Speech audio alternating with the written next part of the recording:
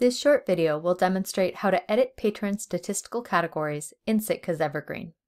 To access the Statistical Categories Patron Editor, go to Administration, Local Administration, Statistical Categories Patron Editor. Select the category you would like to edit and choose Edit Selected from the Actions menu. You can edit the statistical category as needed and then click Save.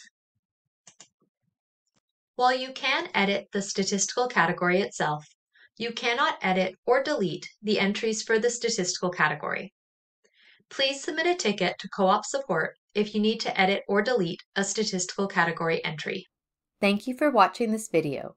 For more information, please visit the BC Libraries Cooperative website.